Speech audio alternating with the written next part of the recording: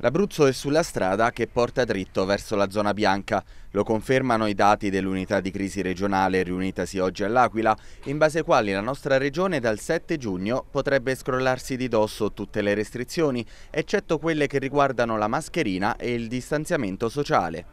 Oggi in Abruzzo 67 nuovi contagiati, tra i 9 mesi e gli 89 anni d'età di cui 31 sono residenti in provincia dell'Aquila, 17 in quella di Chieti, 11 nel Teramano e 6 nel Pescarese. Uno dei contagiati invece proviene da fuori regione. È quanto emerso dall'analisi di 2.561 tamponi molecolari per un tasso di positività del 2,6%. Due ulteriori morti che portano il bilancio delle vittime a 2.465 e con gli ultimi 177 guariti attualmente in Abruzzo sono 5.633 i positivi accertati, 113 in meno rispetto a ieri.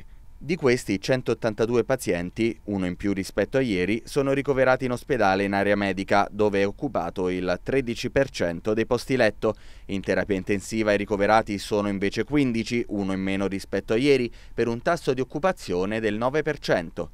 L'indice RT di contagiosità a livello nazionale è sceso dallo 0,86 della scorsa settimana all'attuale 0,78 e da lunedì tutta l'Italia sarà zona gialla.